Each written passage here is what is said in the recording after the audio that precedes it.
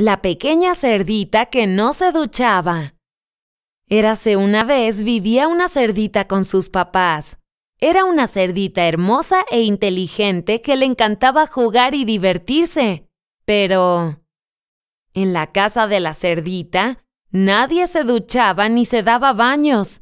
Ni siquiera tenían una ducha.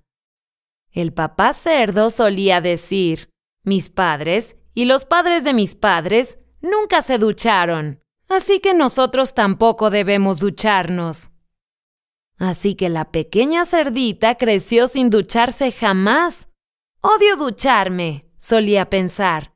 ¡Qué cosa más horrible! Cuando la pequeña cerdita comenzó a ir a la escuela, todos los animales del pueblo se burlaban de ella por lo mal que olía. Nadie quería jugar con la cerdita. Ella se sentía muy triste y sola.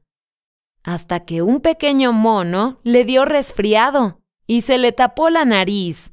Como no podía oler, llegó con la cerdita y le dijo, Hola. A la cerdita le cayó muy bien el mono y empezaron a jugar. Inmediatamente se convirtieron en los mejores amigos.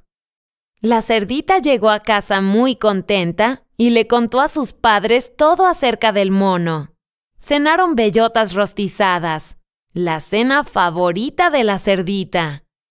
Al día siguiente, cuando la cerdita llegó a la escuela, fue a ver al monito, pero él ya se había curado del resfriado y se sorprendió del olor de la cerdita. Cerdita, ¿qué es ese olor? ¿No te duchaste? le preguntó el mono. No, odio ducharme, le replicó la cerdita. ¿Por qué no lo soportas? le preguntó el mono con curiosidad.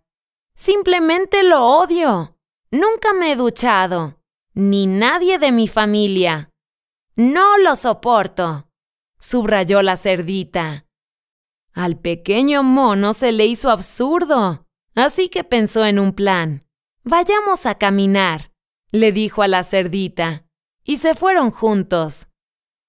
De pronto, cuando pasaban cerca de un arroyo, el mono saltó al agua tomando consigo a la cerdita.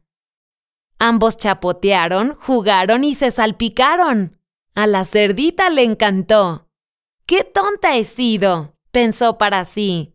¡Me encanta ducharme! A partir de ese día, la cerdita se duchó todos los días. Incluso convenció a sus padres de hacer lo mismo. Y adivina qué. A ellos también les encantó. El monito y la cerdita aún siguen siendo los mejores amigos. Y el monito que solo comía plátanos, incluso comenzó a comer bellotas también. Son deliciosas. En la vida debes estar abierto a probar cosas nuevas. Fin.